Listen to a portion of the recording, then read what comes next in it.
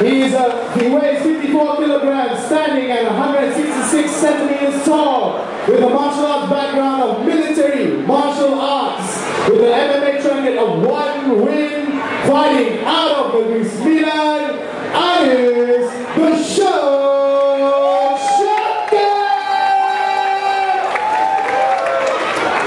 Yeah.